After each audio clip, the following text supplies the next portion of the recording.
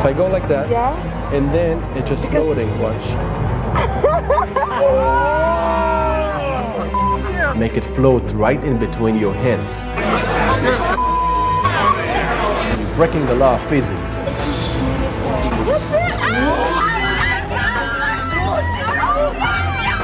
Teach you remarkable possibilities.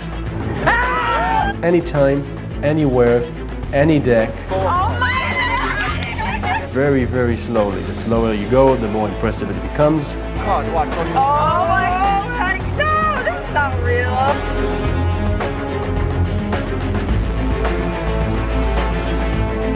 Very, very powerful. Stop. Stop right there. And you can examine it.